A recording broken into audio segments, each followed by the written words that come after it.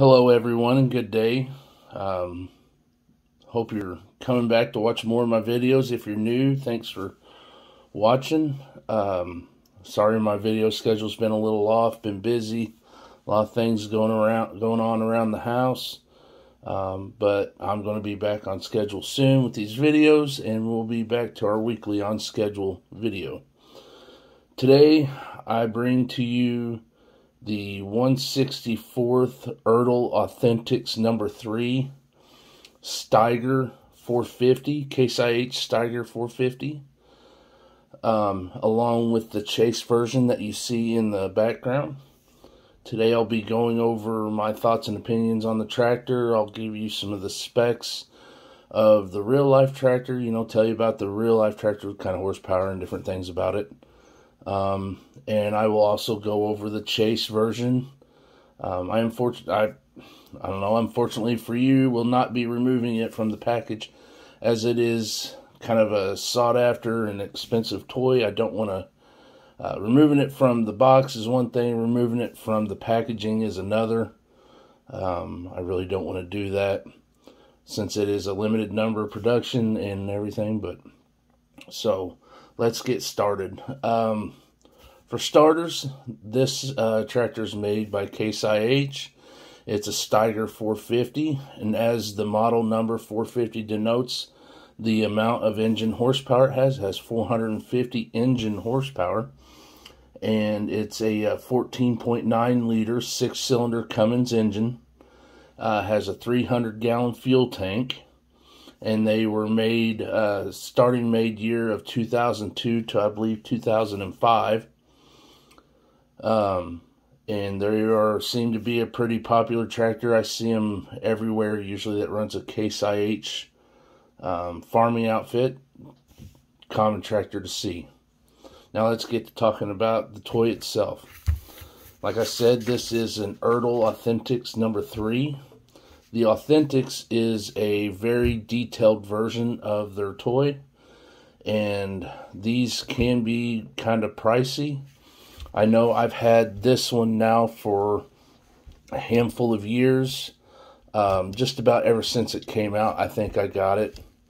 And I recently just acquired the uh, Chase version for a fair price. Um, these are rising in value as time goes on. I know that the regular versions in mint condition are 65 to 80 dollars and the chase versions I've seen anywhere from 80 dollars up to 150 so they can be pricey but if you are wanting to go with lifelike detail on your toy farm or have something with a lot of detail in your toy tractor collection, these are great to have. Uh, for example, you have a working three point hitch here with your third link that comes up and down. And you have your flasher bar with your slow moving vehicle sign there.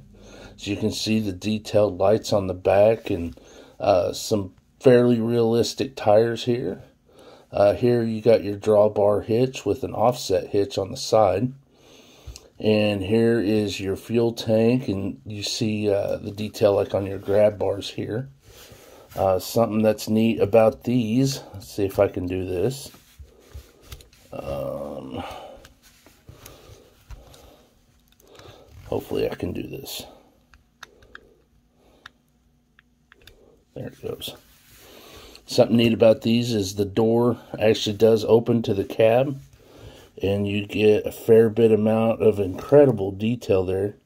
You can see the the monitor there and your controls, uh, the steering wheel and the dash.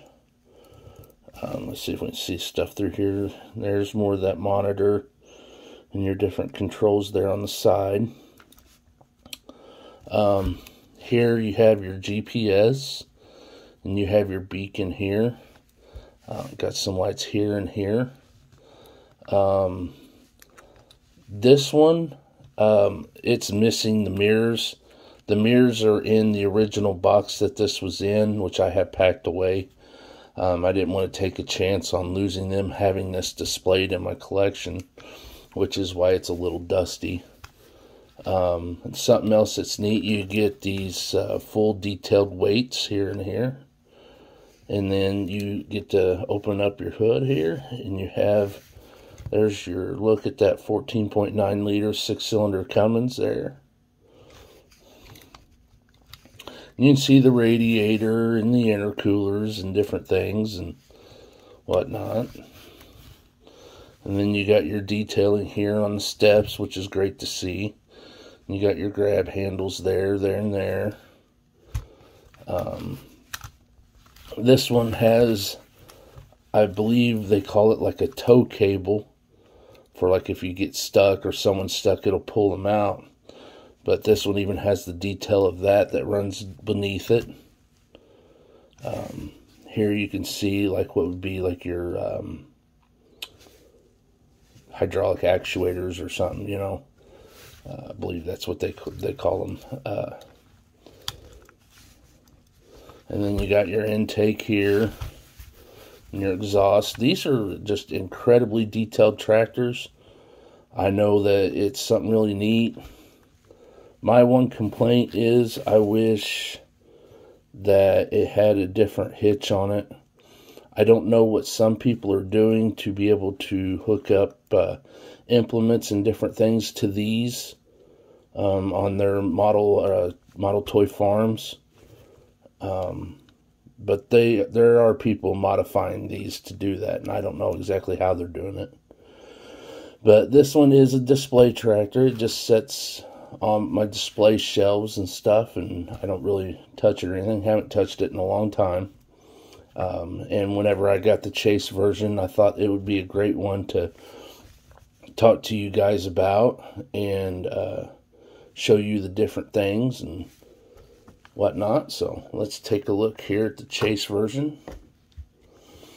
Now the Chase version, they do, um, usually it's like one out of every couple of cases of toys.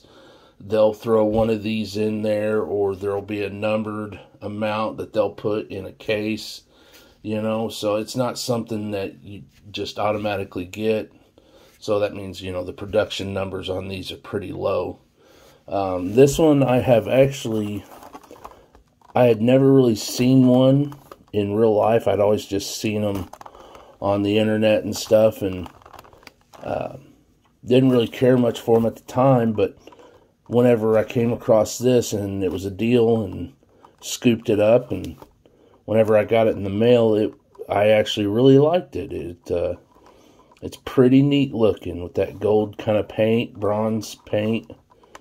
Um, I don't know what exactly. I know it, it's gold, but it's more of like a a bronze or a brass color kind of to the paint. And then especially like with the red interior. Um, let's see if we can take this out here. We might be able to Nah, I don't want to do that. Um, with the red interior and all the gold, it makes it really stand out. And like on the regular version, you got your details on your grab bars and your grab handles and stuff.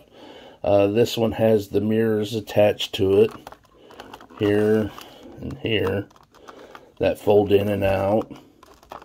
And just the detail on these are great. Um, I know some people that really collect a lot of these chase tractors. And if you're looking for chase tractors, you kind of want to grab them as soon as they come out because the market seems that after they come out, they just skyrocket in price. Um, now, most do. And some of them can be several hundred dollars and if you're six one sixteenth scale, they get in the thousands of dollars, and they're just fantastic looking tractors whenever they're all gold and silver plated. Uh, this one, like I said, I have really grown to like.